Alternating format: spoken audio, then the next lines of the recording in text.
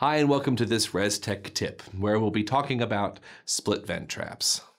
In gas chromatography, oftentimes the instruments can operate in split mode, where your sample is just simply split, some of it being directed onto the column for analysis, but most of it being sent out of the instrument, but not just into the lab's atmosphere, because instrument manufacturers have included something called the split vent trap.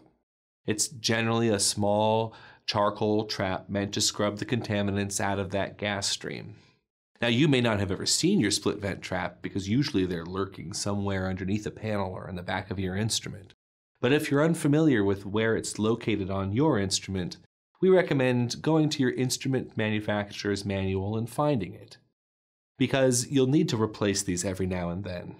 Now, when you do replace them, please make sure that all of the fittings are nice and snug because a leak at a split vent trap can be really hard to diagnose later on. So if replacing the split vent trap isn't already on your preventative maintenance schedule, we hope you'll consider adding it. And we thank you for joining us for this Restek tip.